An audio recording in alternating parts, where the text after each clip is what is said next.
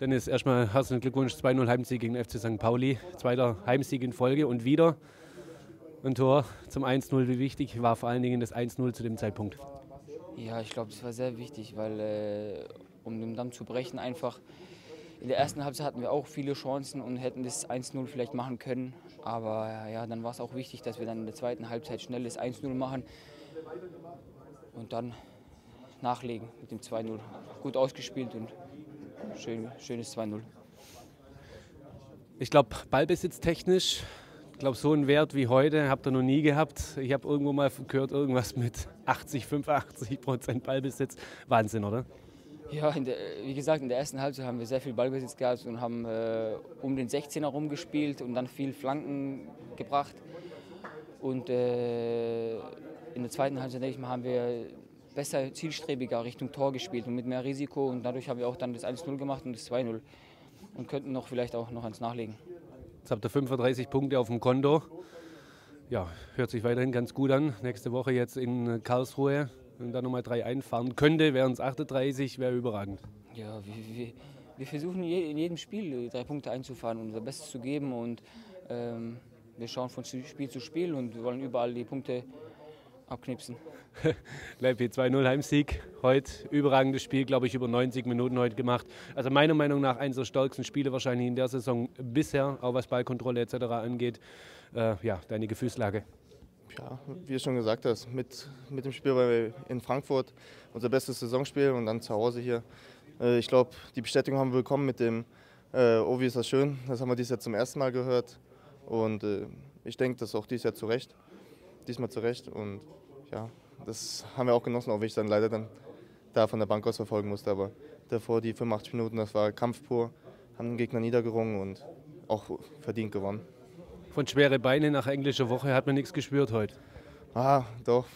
Die letzten zehn Minuten waren schon zäh, aber äh, ja, nochmal die Kraft gefunden für den einen Konter, der dann zum 2-0 führt. Und äh, ja, so konnte ich der Mannschaft heute wieder helfen. Wir haben 35 Punkte, sind besser als letztes Jahr. Und ja, jetzt haben wir sechs Punkte aus der englischen Woche geholt. Also ich denke, in Leipzig kann man mal verlieren, haben wir trotzdem ansprechende Leistung gebracht. Und äh, ja, jetzt freuen wir uns auf zwei freie Tage. Marc, Glückwunsch zum 2-0 Heimsieg. Ganz kurz deine Stimmung zum Spiel.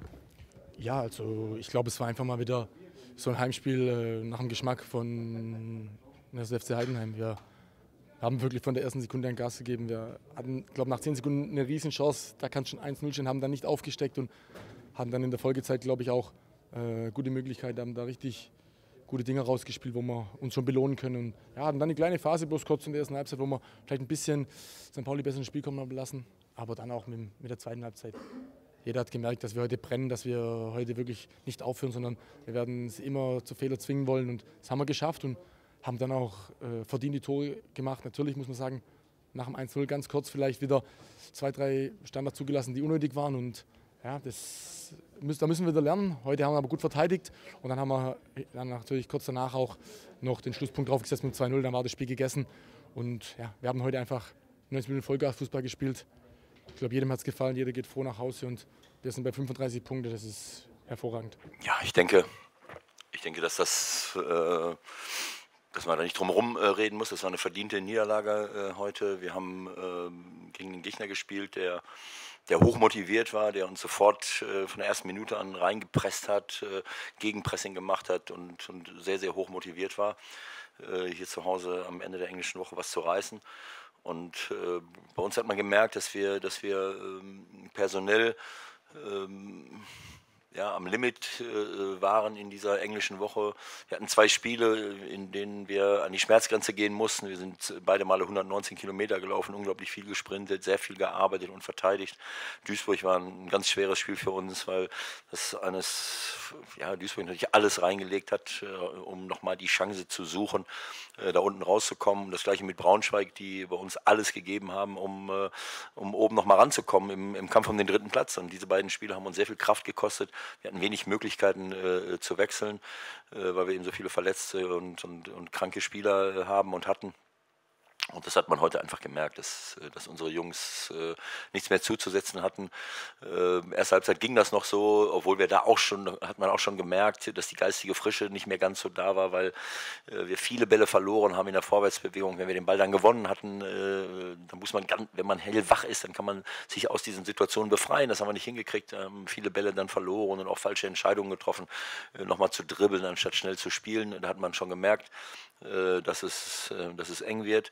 Äh, wir haben dann in den ersten Minuten ein paar Chancen zulassen müssen. Ähm, haben dann selbst von der 24. oder 25. bis zur 35. Minute mal 10, 11 Minuten dominieren können, mit Torchancen, angefangen mit diesem langen Heber von, von Schatkowski, dann Schüsse von Lennarty, von Alushi bis hin zum Pfostenschuss von Alushi. Da hätte er sicherlich ein Tor fallen können, aber das waren 10 Minuten. Äh, muss man ehrlicherweise sagen. Danach hat äh, Heidenheim wieder das Kommando übernommen, hat äh, wieder vor der Halbzeit ein, zwei Riesenchancen gehabt und, und nach der Halbzeit 53. Minute, ich weiß gar nicht, wie, die, wie, die, dass wie der nicht reingehen konnte. Ähm, da haben wir schon riesen Glück gehabt und wir haben selbst quasi eigentlich bis zum bis zum Führungstor von Heidenheim nicht einmal aufs Tor geschossen und, hatten dann nicht mehr so viel zuzusetzen. Also verdient für Heidenheim ähm, aber auch überhaupt kein Vorwurf an, an unsere Jungs, die auch in einer aussichtslosen Situation wie heute dann noch alles reingeworfen haben, lange Wege gegangen sind. Ähm, äh, und, ähm, aber es war einfach zu sehen, dass wir heute nicht durchkommen äh, und dass Heidenheim heute einfach diesen Tick äh, besser und frischer war und absolut verdient äh, gewonnen hat. Äh, ein großes Kompliment an, an Heidenheim überhaupt für die Arbeit hier, die, die hier geleistet wird, auch vom, vom Frank. Das haben wir letztes Jahr schon, letztes Jahr schon, äh, schon gesagt. und wenn ich das sehe, was, was, hier auf, was sie hier aufgebaut haben über Jahre hinweg, das ist aller Ehren wert. Und äh, hier werden auch viele andere Mannschaften äh, Schwierigkeiten haben und haben auch schon Schwierigkeiten gehabt. Also da freue ich mich sehr darüber, dass auch Kontinuität auf diese Art und Weise belohnt wird und natürlich auch äh, korrekte und ehrliche Arbeit. Das muss man, darf man auch mal erwähnen, erwähnen äh, wenn, äh, wenn Heidenheim äh, im letzten Jahr, in der letzten Saison, obwohl sie schon gerettet waren, nicht so Gas gegeben hätten gegen unmittelbare Konkurrenten von uns, dann würden wir hier jetzt gar nicht sitzen. Ähm, so ist das äh, gewesen. Äh, wir haben auf der Zielgerade quasi ein Tor mehr, was Aue geschossen hätte, dann würde ich hier jetzt nicht sitzen, äh, sondern in Cottbus irgendwie. Und, und so, das sollte nicht respektierlich klingen. Das ist halt, mir fiel jetzt nur, nur kein anderer Verein in der dritten Liga ein. Und das ist eine, eine Top-Arbeit. Und ich habe den Jungs vor dem Spiel gesagt, komm, lass ihnen die drei Punkte hier, die haben es verdient von gestern. Ja, ich glaube, da braucht man nicht mehr viel hinzufügen. Ewald hat mitgeschrieben und ähm, deswegen, es war genau so. Wir hatten, ähm, unser Ansatz war heute über wirklich ein hohes, laufintensives Pressing, den Gegner, der einen Tag weniger Zeit gehabt hat, sich zu erholen, letztendlich zu Fehler zu bringen. Das ist uns, glaube ich, das erste Mal nach 14 Sekunden äh, geglückt, als Arne Feig den Ball abläuft, quer durch den 16er passt, wenn man da ein bisschen Glück hat eine Fußspitze hinbekommt, macht man da vielleicht sogar schon ein Tor. Haben zwei, dreimal nachgesetzt in den ersten Minuten, ähm, haben Kontrolle gehabt, aber dann mit der Situation, wo, wo Zimbo den Ball weit aus dem Tor kommt und den Ball nicht richtig klärt und der Ball von Schatkowski kommt, ähm, war so ein bisschen Hallo wach, denke ich, für den Gegner. Danach gab es nochmal drei Möglichkeiten, auch mit dem Pfostenschuss.